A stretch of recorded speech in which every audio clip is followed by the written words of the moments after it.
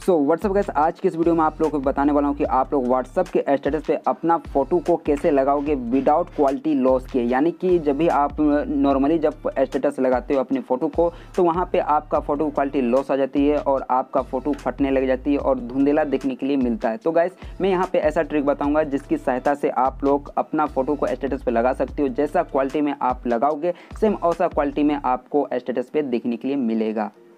दोस्तों, इसके लिए आपको क्या करना है? आपको अपना व्हाट्सअप को ओपन करना है।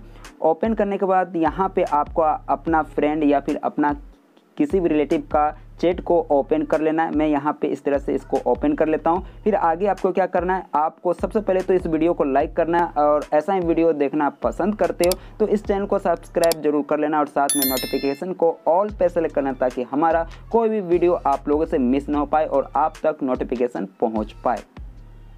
दोस्तों, यहाँ पे आपको क्या करना है? आपको यहाँ पे जो भी फ़ोटो आप लगाना चाहते हो स्टेटस पे सिंपल से यहाँ पे गैलरी पे जाना है एंड हुआ फ़ोटो को सिलेक्ट कर लेना है।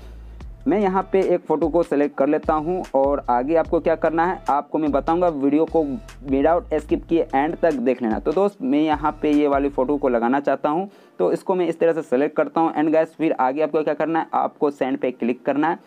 सेंड पे क्लिक करने के बाद आपको यहाँ पे क्या करना है? आपको ये वाले शेयर वाले जो ऑप्शन दिख रहा है यहाँ पे, इस पर टैप करना है और यहाँ पे जैसे ही टैप करोगे माय स्टेटस आपको देखने के लिए मिल जाएगा। यहाँ पे आपको इस तरह से टिक कर लेना है एंड यहाँ पे आपको सेंड पे क्लिक कर देना है। एंड गैस यह स्टेटस लग जाएगा। मैं आपको दिखा देता हूँ स्टेटस को ओपन करके। एंड गैस यहाँ पे देख सकते हो कि यह स्टेटस लग चुका है और इसकी क्वालिटी कहीं भी लॉस नहीं हुआ। जैसा क्वालिटी मैंने लगाया हूँ सेम वैसा क्वालिटी में देखने के लिए मिल रहा है।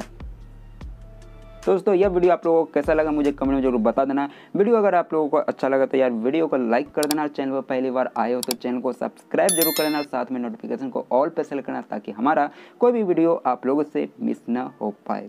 तो दोस्तों, मिलते हैं आप लोगों से अगले नेक्स्ट वीडियो में। तब तक के लिए बाय बाय